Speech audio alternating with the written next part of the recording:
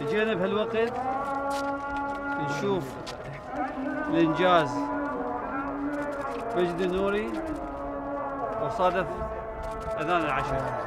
هذا الجامع شاهد لأثر ديني روحي يعلم المحبة والانتماء للوطن والانتماء للإنسانية. عمره أكثر من ألف سنة.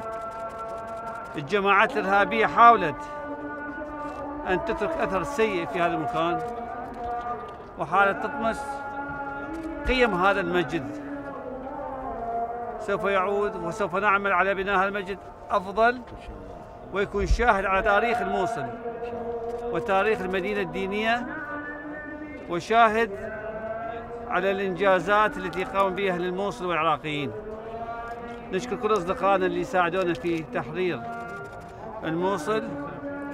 نشكر كل قواتنا الأمنية والعسكرية التي قامت وقدمت تضحيات بالدماء من أجل إنقاذ هذه المدينة الكريمة بأهلها وبتاريخها.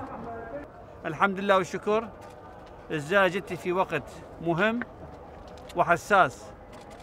العراقيين اليوم في أمس الحاجة إلى الألفة والتكاتف لكي ننطلق لبناء المستقبل. خلي نبدأ من موصل قبل أسبوع بدينا في كربلاء. في عملية رفع التجاوزات واستعادة هيبة الدولة على المتجاوزين على القانون.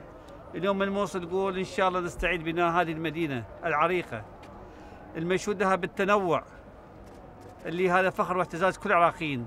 كيفية نحول هذا التنوع إلى فرصة للنجاح للمستقبل. الرب إن شاء الله يحمي أهل الموصل ويحمي كل العراقيين.